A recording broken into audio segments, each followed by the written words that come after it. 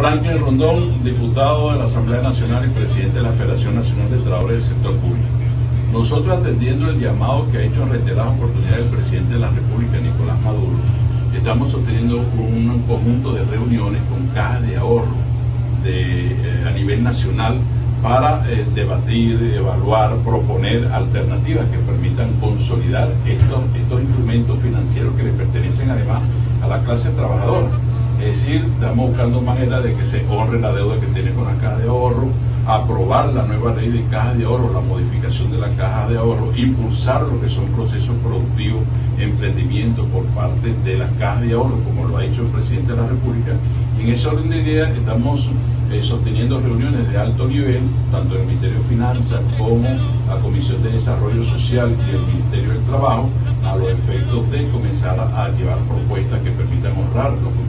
que hay contra estos sectores. A mi derecha está eh, la compañera eh, que es de la Caja de Ahorro Capreminfra, que también va a compartir con nosotros sus impresiones. Sí, mi nombre es Gilda Pérez, tesorera de la Caja de Ahorro. Estoy en unión con todos mis compañeros eh, con el impulso de nuestra labor social de nuestros asociados a fin de honrar esos recursos que tenemos pendientes con ellos, ya que nuestro fin social es nuestro socio.